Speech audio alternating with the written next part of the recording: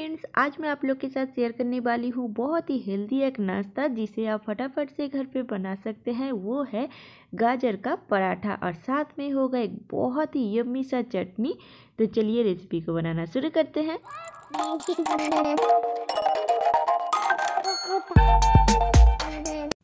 इस मज़ेदार गाजर की पराठा रेसिपी को बनाने के लिए मैं यहाँ पे सबसे पहले एक बोल ले ली हूँ और अब हम आटा को रेडी कर लेंगे। तो यहाँ पे मैं नॉर्मल गेहूँ का आटा ली हूँ और इसमें पानी ऐड करके इसका बहुत ही अच्छा सा डो रेडी कर लेंगे। और फ्रेंड मैं यहाँ पे एक कप आटा का बना रही हूँ। आप लोग अपनी क्वांटिटी के हिसाब से आटे को कम या ज़्यादा कर सकते हैं और थोड़ा थोड़ा पानी ऐड करके इसे बहुत ही नरम सा एक डो रेडी कर ले। तो देखिए, आप लोग से बात करते करते हमारा जो आटा है, वो बिल्कुल रेडी हो गया है। इसे हम 10 मिनट के लिए रेस्ट होने के लिए रख देते हैं और इसे कवर कर देते हैं। आ जाते हैं नेक्स्ट स्टेप पे। तो यहाँ पे मैं ली हूँ तीन गाजर और गाजर का छिलका हम निकाल लिए हैं और इसे अच्छी तरह से पानी से धो भी लिए हैं। अब हम गाजर को छोटे छोटे टुकड़ों में काट लेंगे। तो इस तरह से चाकू के मदद से आप छोटे छोटे टुकड़ों में सारे गाजर को काट ले। आप चाहे तो इस गाजर को ग्रेटर के मदद से भी ग्रेट कर सकते हैं, लेकिन मैं यहाँ पे छोटे छोटे टुकड़ों में इसे काट के मिक्सी ग्राइंडर में इसे ग्राइंड कर लूँगी। तो इसलिए गाजर को हम छोटे छोटे टुकड़ों में काट लिए हैं ताकि बहुत ही अच्छी तरह से इसका एक दरदरा सा पेस्ट रेडी हो जाए। तो चलिए, गाजर हमारा यहाँ पे रेडी हो गया है। अब एक ही बार में सारा गाजर का पेस्ट नहीं बनाएँगे आधा आधा करके बना लेंगे। तो इस तरह से गाजर का पेस्ट हम लोग रेडी कर लिए हैं और देख सकते हैं दरदरा ही पीसे हैं, ज़्यादा पेस्ट में ही नहीं किए हैं। तो चलिए गाजर को हम इस बोल में ऐड कर देते हैं और बीच बीच में जो ये छोटा छोटा गाजर का टुकड़ा देखे तो ये निकाल ले। अब हम एक प्लेट ले लेंगे और आ जाएँगे नेक्स्ट स्टेप पे। अब हम लेंगे पनीर। और पनीर को इस ग्रेटर की मदद से ग्रेट कर लेंगे। आप चाहे तो हाथों की मदद से भी इसे मैश कर सकते हैं, लेकिन ग्रेटर की मदद से ग्रेट करने से ये बहुत ही स्मूथ सा बन के रेडी हो जाएगा और आसानी से ये मिक्स हो जाएगा। और यहाँ पे मैं 200 ग्राम पनीर ली हूँ तो देखिए अच्छी तरह से ग्रेड हो गया है। अब हम एक बोल ले लेंगे, इसमें हम सारे पनीर को ऐड कर देंगे।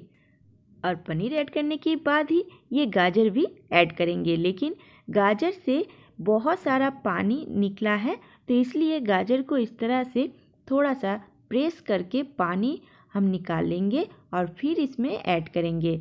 पानी समेत अगर गाजर को इसमें ऐड करेंगे तो बहुत ही ज़्यादा गीला हो जाएगा तो आप स्टफिंग आटे में नहीं भर पाएँगे।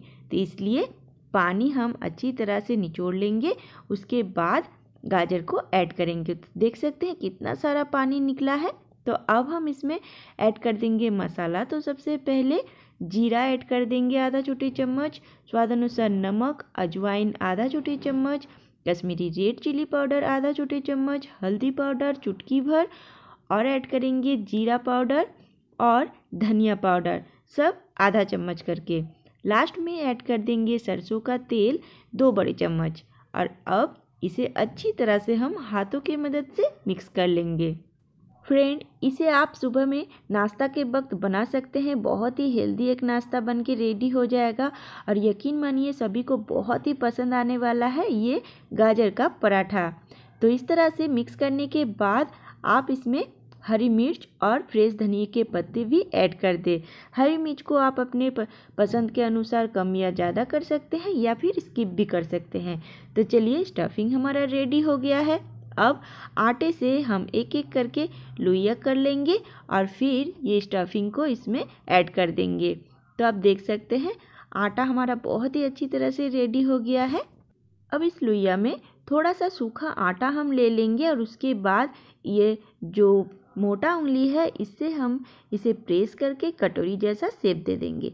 कटोरी जैसा बन जाए तो ये जो पनीर और गाजर का स्टफिंग हम लोग रेडी करके रखे थे, वो इसमें ऐड कर देंगे। तो आप देख सकते हैं, इस तरह से प्रेस प्रेस करके स्टफिंग को इसमें ऐड करना है और उसके बाद आटे को बहुत ही अच्छी तरह से मोड़ लेना है, ताकि स्टफिंग बेलने के टाइम बाहर ना आ जाए। तो इस तरह से आप प्रेस कर ले और स्टफिंग को अच्छी तरह से कवर कर ले। तो यहाँ पे हमारा जो स्टफिंग वाला लोइया है, वो पराठा के लिए बिल्कुल रेडी हो गया है। अब है इसे बेलने की बारी। तो यहाँ पे चाकी और बेलन ले लिए हैं।